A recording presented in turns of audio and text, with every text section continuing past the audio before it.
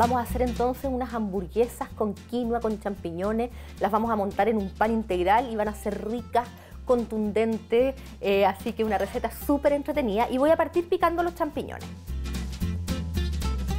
Pueden usar champiñones o algún hongo distinto y van a quedar ricas igual. O pueden combinarlos también. Entonces vamos a ir picando en cuadritos. Champiñones picaditos.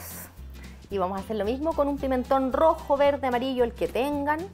A mí me gusta el rojo de sabor y además que me encanta la combinación de colores, que haya contraste, que se vea bonito. Encuentro que es tan importante que la comida se vea bonita. Así que vamos a picar pimentón rojo. Vamos a usar aceite de oliva para que nos quede sabroso, con enjundia. Vamos a ir poniendo las verduritas para que se vayan salteando, que vayan tomando color.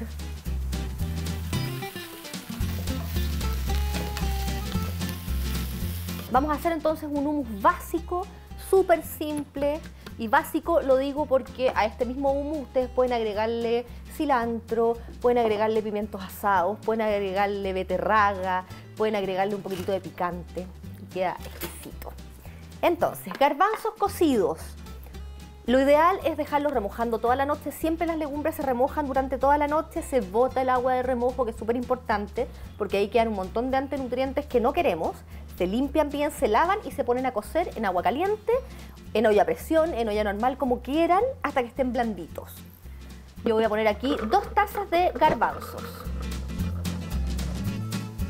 Vamos a poner un buen chorro de aceite de oliva, unas dos o tres cucharadas grandes.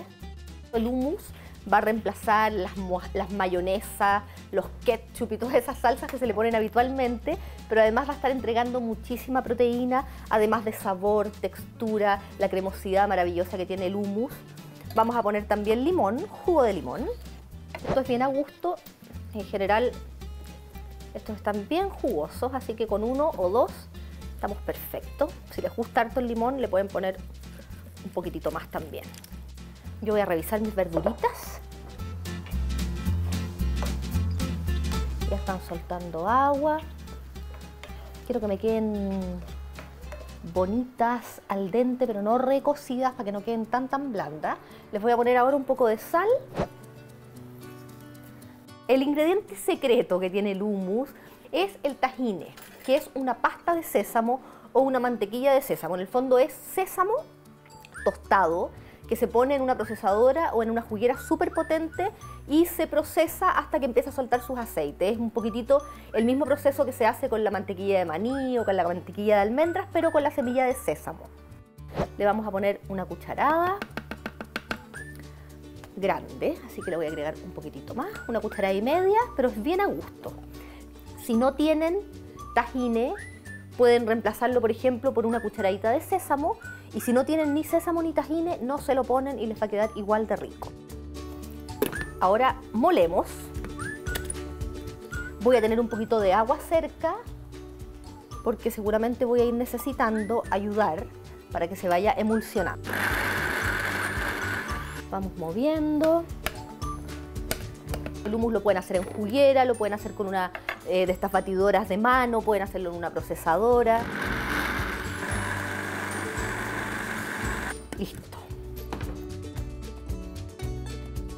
La gracia es que nos quede una textura como esta.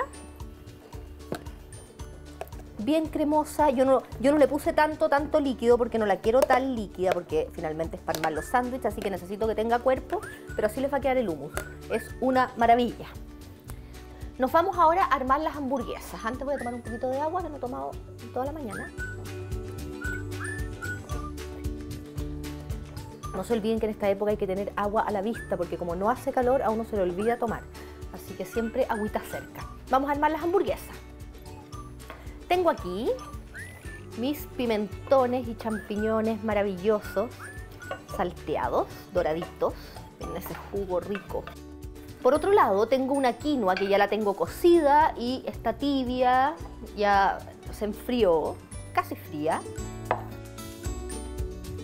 Vamos a poner aproximadamente dos tazas de quinoa. No tiene que ser tan exacto. Aquí yo les voy a mostrar en el fondo cuál es la textura que tenemos que lograr para poder armar las hamburguesas. Le voy a poner un poquito de sal porque al agua de cocción de la quinoa le puse muy muy poquitito. Tengo aquí la quinoa con las verduras y vamos a agregar huevo. Yo quiero que además este plato tenga harta proteína, que sea saciador. Así que vamos a incorporar un huevo.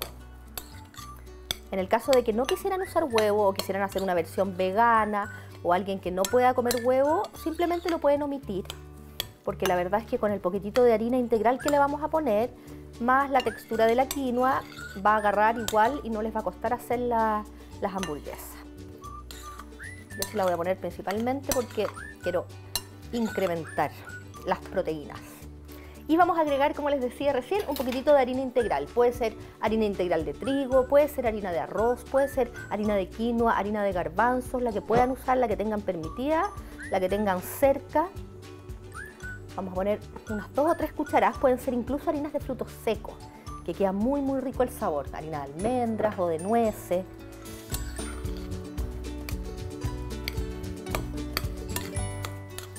Esto es simplemente porque la quinoa tiende un poquitito como a desgranarse cuando uno hace hamburguesas. Entonces necesitamos poner algo que nos ayude a aglutinar y hacerlas un poquitito más compactas.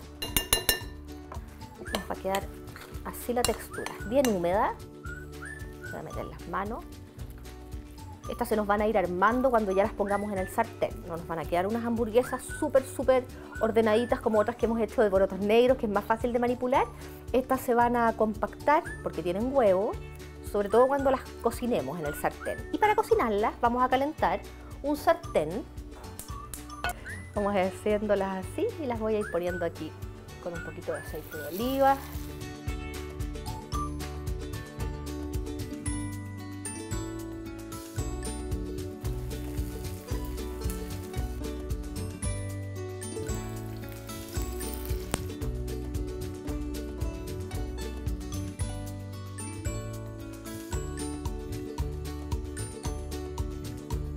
Nos vamos entonces a armar las hamburguesas. Miren cómo quedaron. Preciosas, la quinoa doradita. Se notan los pimentones, los champiñones. Me encanta. Entonces, vamos a usar un pan. Yo voy a usar pan integral de molde. Pueden usar el pan que ustedes quieran. Y primero vamos a poner una capa de tomate.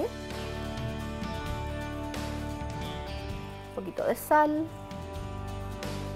Vamos a poner después una hamburguesa. Voy a poner después una buena cucharada de hummus harto humus que le dé cremosidad y humedad a este pancito. Y encima voy a poner un poquito de palta. Voy a poner unos pepinillos que me fascinan. Pueden ser de estos dill que son más dulces o los que son en vinagre. Hay unos de fabricación artesanal ahora en el mercado que son muy muy ricos también. Vamos a cerrar. Miren cómo queda por dentro rico, contundente, enjundioso. Estoy segura que a mis amigos de la compañía de bomberos le va a encantar. Yo no voy a armar todas las hamburguesas porque tienen que estar fresquitas. Así que ahí vamos a ver cómo nos va.